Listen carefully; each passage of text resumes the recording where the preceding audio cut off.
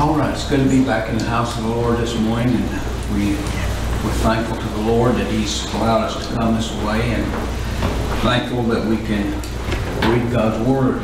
And uh, it's a blessing to uh, see it more clearly in more than one way.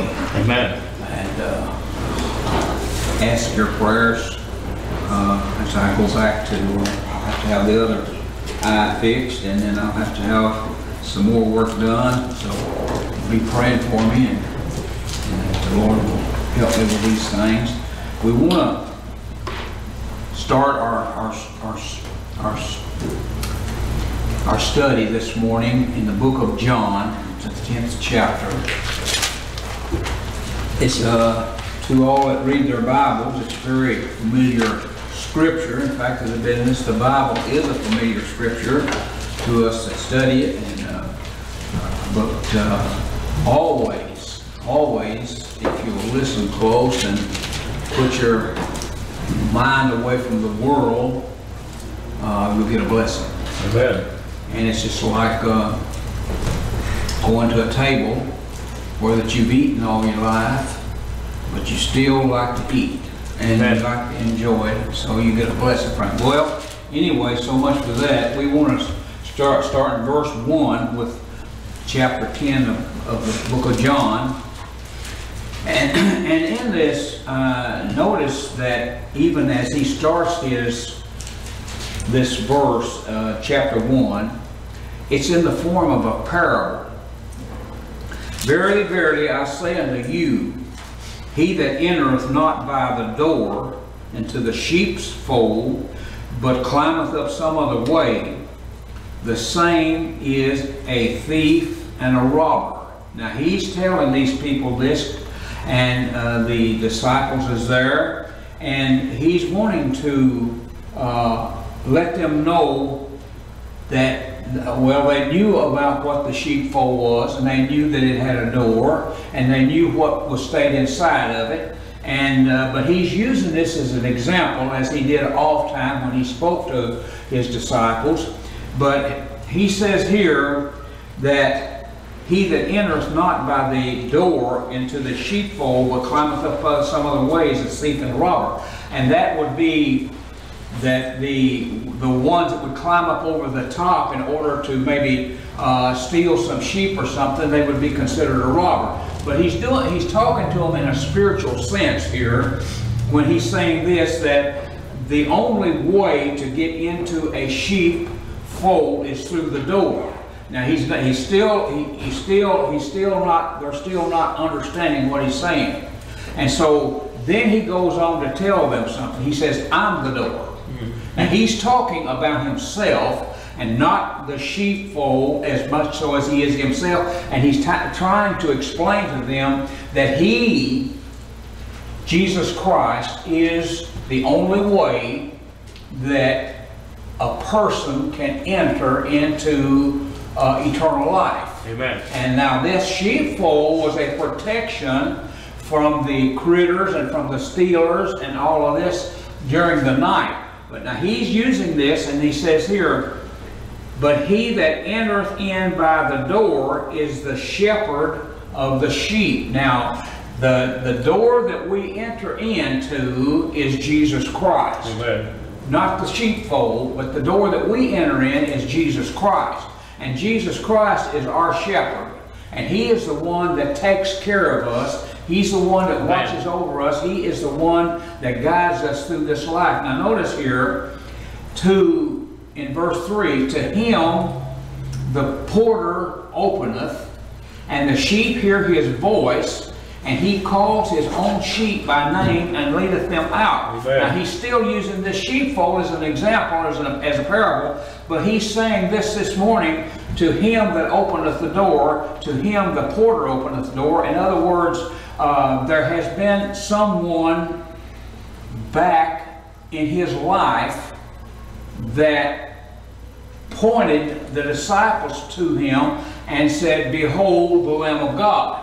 Now this is the porter, which was a type of John the Baptist. When, when Jesus came down to be baptized of John the Baptist, and John identified him. And listen, uh, as we as we speak on this, just a little bit on baptism, uh, we are studying that in our afternoon service. Now, baptism is for identification, and this is what he's saying here: that the the porter openeth the door, uh, uh, and and the sheep hear his voice, and they go out, or they the the uh, the, the Lord Jesus Christ is the one that calls them out. So he says in verse 4 And when he putteth forth his own sheep, he goeth before them, and the sheep follow him, for they know his voice. Yeah. Now, again this morning, we can follow false gods. We can follow false prophets. We can follow them. Listen, if a person is not saved by the grace of God, he will follow false prophets. Right. He will listen to false false teachers. And so here he says, and when he putteth forth his own sheep, and that that own sheep means those that are his. Not every sheep or not every person is the Lord Jesus Christ Right. until they come to uh, know him as their Savior. But he says here, his own sheep, and if you would remember, uh, if you ever studied any about the sheepfold, there was more than one group of sheep that went into that uh, sheepfold. Right. Uh, maybe four or five different herds would go in there, and the the shepherd of the sheep would stay uh, outside or go somewhere, and when he come back the next morning, the door would be open, and he'd call. And they would, the, the sheep there, they may be three or four, but the ones that the shepherd owned, he would call them and they would know his voice and they would hear him to come out. Amen. And so here he says here, and when he putteth forth his own sheep, he goeth before them, and the sheep follow him, for they know his, his voice. And this morning, if we know the Lord Jesus Christ as our Savior, listen, it's it's it's the best thing that we can do is to settle down and listen for His voice and not heed the voice of others. And listen, the world is talking to us. The world is is bidding us to come out of the fold and to go with them. But listen, we need to listen to what the Lord Jesus Christ says and what Amen. He says. And here you say, well, Jesus don't ever talk to me. Well, listen, he don't with an audible voice, but listen, he has a he has the Holy Spirit that he sends, and he says, when I'm I'm going to go to heaven, and when I go, I'm going to send a comforter, which is the Holy Spirit, and Amen. that Holy Spirit finds its dwelling place within us, and he speaks to our hearts, to those that are saved, and he talks talks to us and tells us what we need to do. And so here he says uh, uh, in verse 5 a stranger will not know, will not follow, but will flee from him, for they know not the voice of a stranger. Amen. And this morning, I'm sure that uh, we that are saved have heard the voice of strangers.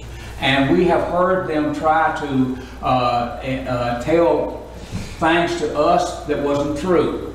Uh, the plan of salvation, uh, all about baptism, about works, about uh, all the other things that uh, we know that they're not telling us the truth about, they tell us to us. They tell us, hey, it's, there's no reason to go down there at that church every Sunday. Uh, you don't you don't have to do that. Listen, we don't have to, but it's for our own need. Because listen, when we go down, come down here, we hear God's voice. We hear the Holy Spirit as He speaks to us, and we can we can go away blessed. Or if we come in the wrong attitude, we can go away without anything. And so this morning, this is what here he says here, and a stranger will they not follow, but will flee from him, for they know not the voice of the stranger. Now listen, this parable spake Jesus unto them, but they understood not what things they were which he spake unto them.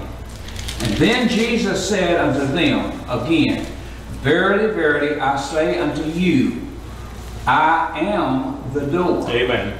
This should clarify anything about the the uh, uh, sheepfold that was out there, and it should clarify who he was talking about. And he, he spoke it plainly to them, and he says, Then said Jesus to them, Verily, verily, I say unto you, I am the door of the, of the sheep, and all that ever came before me are thieves and robbers, but the sheep did not hear them. And he's saying this morning, even in the law before grace was established through Jesus Christ, that there was thieves and robbers that were telling people these false things.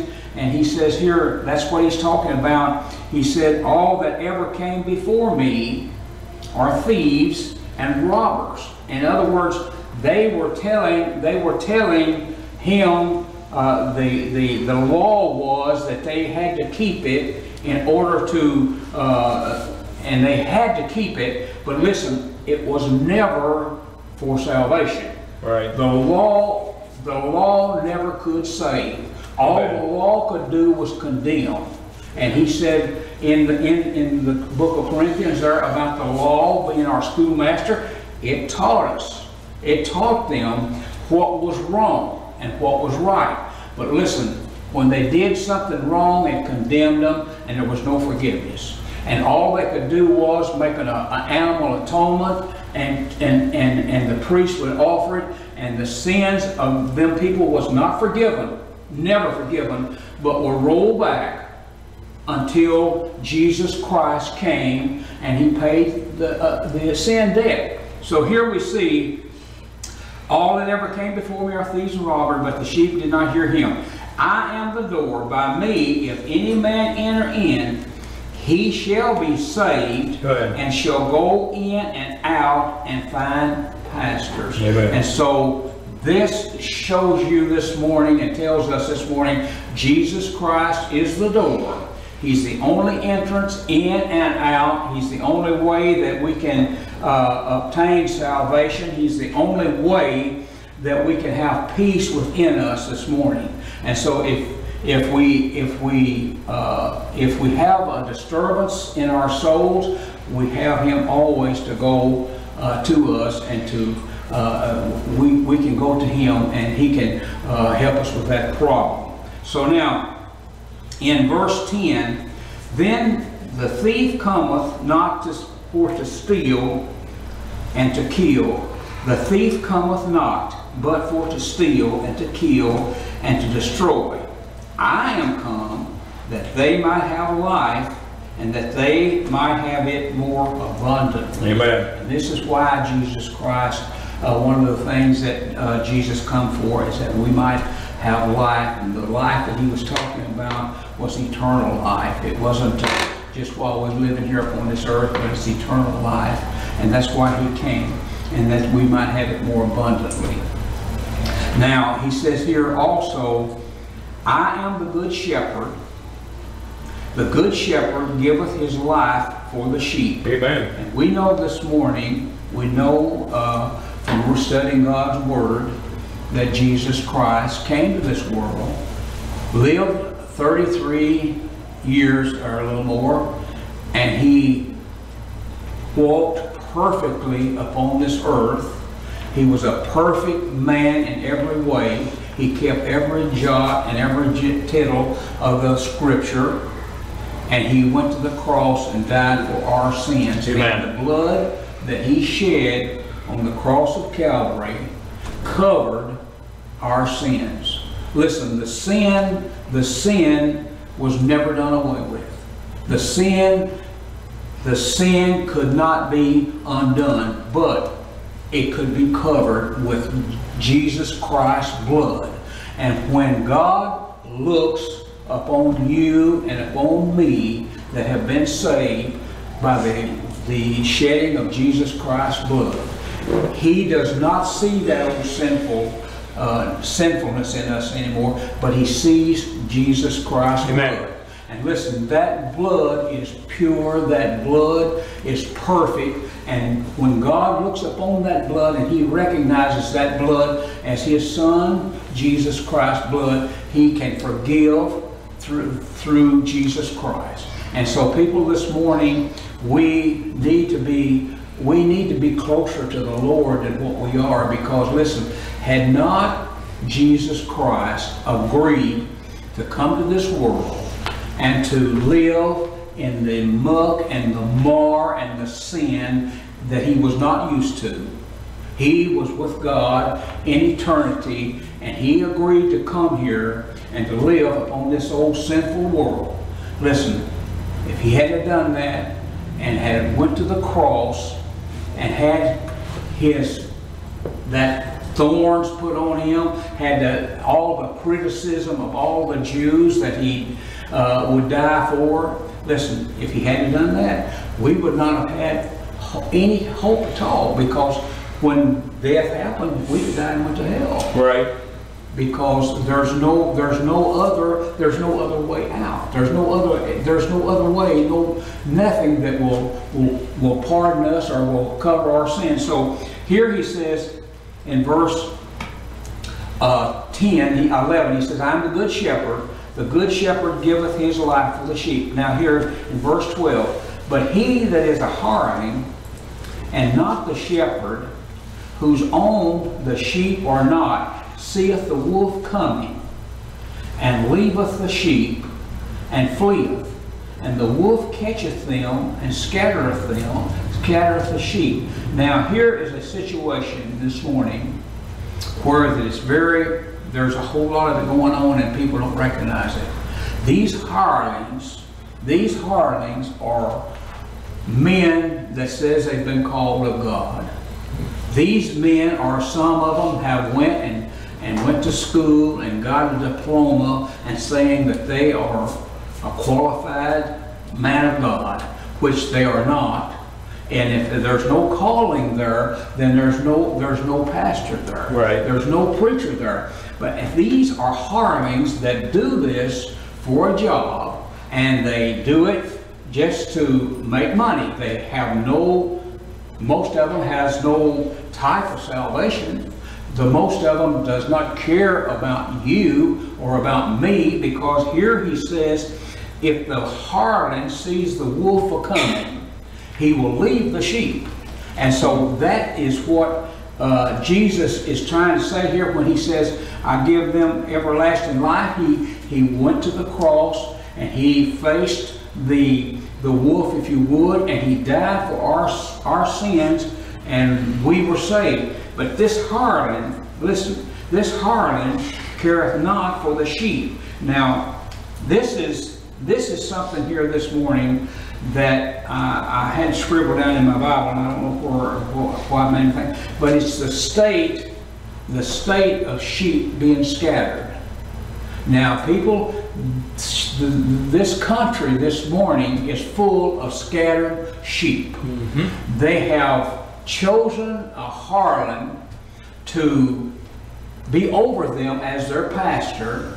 And listen, when when others come in and uh, bring their their sins into the church, he does not tell anybody anything about it. He does not say, "Hey, you're wrong" or "You're right." Listen, all he's interested in is that money that he gets in the box.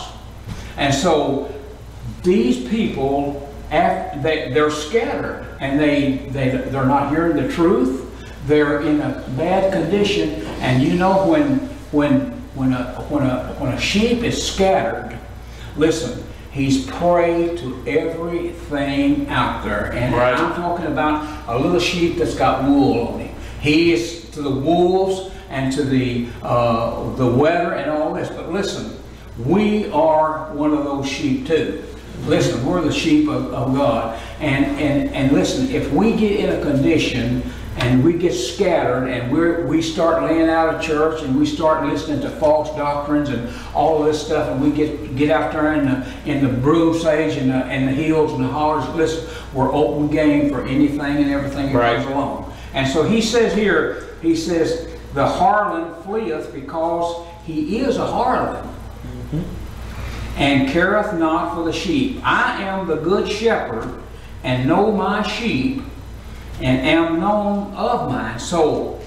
you this morning that are saved, you in, in, in your, in your church, you know that your pastor is, is telling you what you need to hear. Because listen, he's getting a message from God.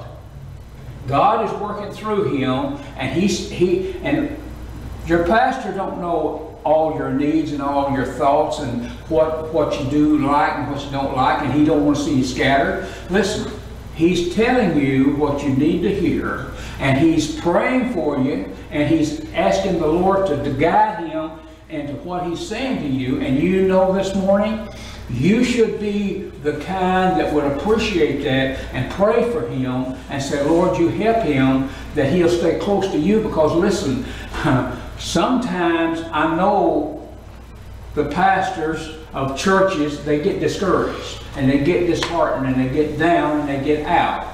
And so listen, what I'm talking to you about this morning is if he's standing in the in the pit for you and and and and, ta- and, and praying to God for you and that he can help you, you do the same for him. Amen. You you help him and listen. This thing when it comes together, it will make a it will make a good church.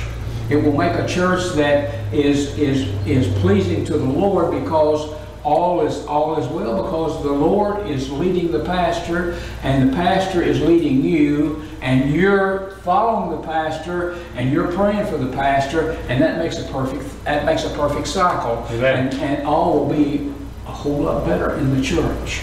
Now I tell you what, uh, we we we need to we need to just stay real close and and every every time that we have an opportunity to come to church, we need to come to church. And every time that we have a a, a day go over our heads, we need to study God's Word and, and feast upon it and listen. Sometimes you read it, you don't get nothing out of it. Four or five days down the road, you'll remember something you, read in there, and you'll understand it more clearly. Because God's Word is true. Every word that you read in here is true. Amen. And so you need to you need to practice these things. So here here is the harlot, and here is the pastor.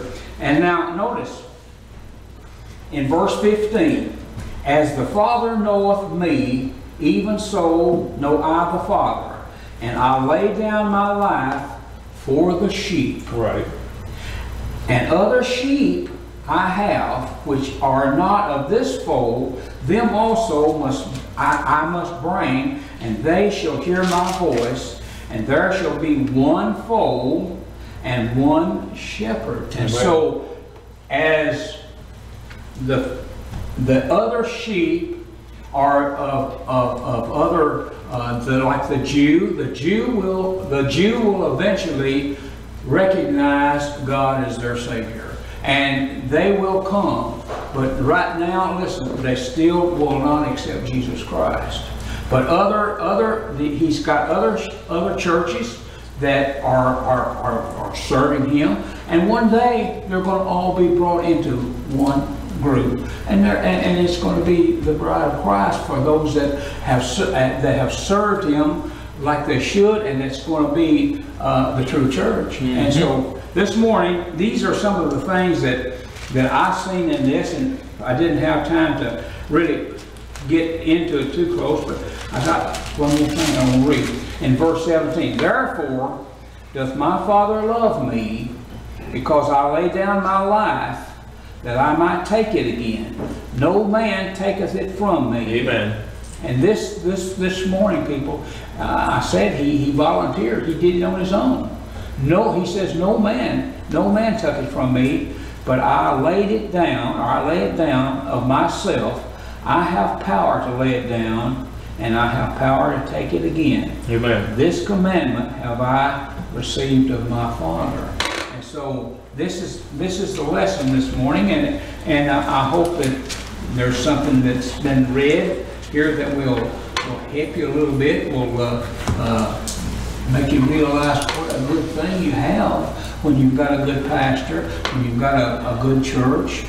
And listen, you need to pray for that church. You need to pray for the, this church here this Amen. morning. And uh, other people that are out in the world maybe have a, have an opportunity to hear this, hey, it's for them too. If they're, if they're sick at home and can't, can't get in church, they can pray for the church that they used to be in and, uh, and, and get a blessing for it. So thank you all this morning for listening and, uh, continue to pray for one another.